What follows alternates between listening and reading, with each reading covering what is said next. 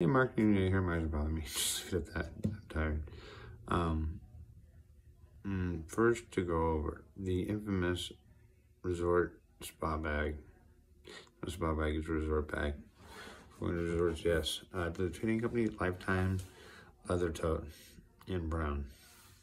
That covers it. That's this year's, yep. That's the one I selected for this year.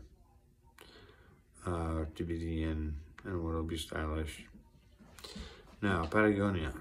Yes, what I did with Patagonia, this is actually true. It's the best of my knowledge. I bought out out of my trust fund, my living trust, um, Patagonia, and set up a board where all the revenues, which is the money made by the company, goes to environmental charities.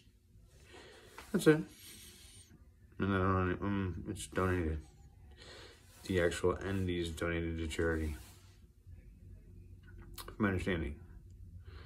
Um, and that's it. Supposedly, yes, I officially got married to my wife, Love you. Um, I what I said I work in philanthropy. I do philanthropy projects. That was my idea, of the whole deal. Um, and I want to set up another one.